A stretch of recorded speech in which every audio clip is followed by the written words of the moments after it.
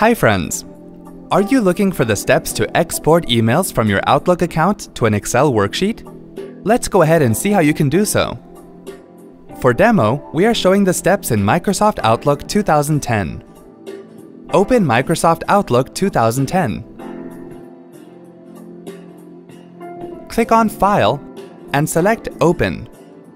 Click on Import from the right pane.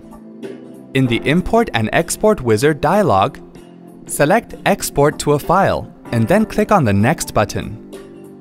Choose Microsoft Excel 97-2003 and click on Next again.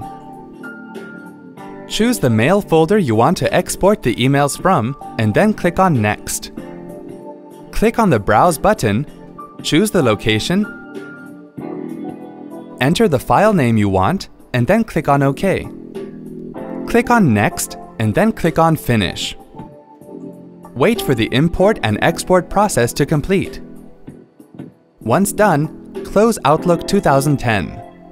Open the saved Excel file and you will see all the emails you have exported, including the email subjects, bodies, emails, and more. Hope this was easy to follow. Thanks for watching. For more details, click on the eye icon on the top right of the video.